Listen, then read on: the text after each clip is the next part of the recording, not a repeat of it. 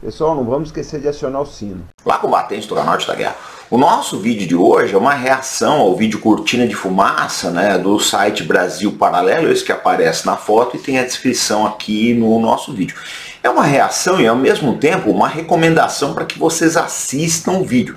Porque eles bateram em muitos assuntos que a gente já vem falando aqui tem bastante tempo. Problema de ONGs, problema de soberania da Amazônia e o problema das mentiras que são contadas sobre o Brasil no exterior. Então é interessante porque o, o documentário ele tem algumas entrevistas muito boas, por exemplo com a ministra Damares, onde ela conta né, que eles foram tentar distribuir cobertores para os índios na, na fronteira aí com a Venezuela, e foi dito aí pela FUNAI que cobertor não fazia parte da cultura dos índios, quer dizer, você pode deixar o índio morrer de pneumonia, olha a cabeça de certas pessoas no Brasil. O Aldo Rebelo, que aparece sempre aqui, ex-ministro da Defesa, ele fala uma coisa interessante também, né? o dinheiro que se dava para ONGs aí, por exemplo, tem uma ONG chamada Amigos de Plutão, que recebeu milhões em dinheiro do governo, era uma ONG aí que ela ela favorecia aí estudos astronômicos visando-se sabe o que. Então, é interessante porque o Brasil paralelo pegou, gente, diversas correntes ideológicas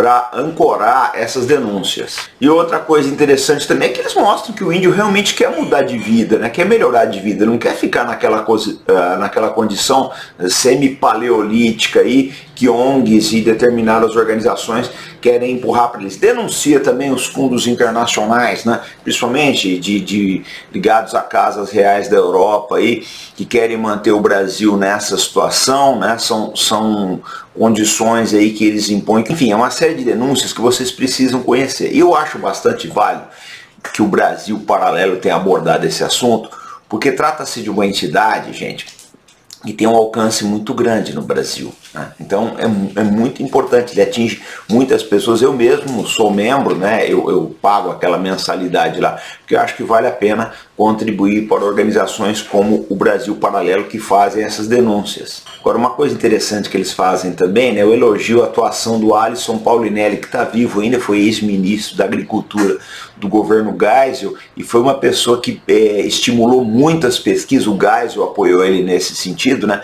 na direção do aproveitamento do cerrado para plantio no Brasil, aproveitamento econômico do cerrado como plataforma agrícola e nós temos aí hoje né, esse, esse verdadeiro motor econômico que é a nossa exportação de soja. Então aqueles pioneiros lá no final dos anos 1970, né, capitaneados pelo, pelo Alisson Paulinelli, e é, apoiados pelo ex-presidente Geisel, eles foram importantíssimos para que a gente tivesse esse cenário pujante hoje. E outras coisas que o Brasil Paralelo mostra, o infanticídio dos índios, quando nasce, quando eles têm problemas, tem mais crianças que podem sustentar uma criança é, sacrificada, eles mostram muita coisa interessante aqui.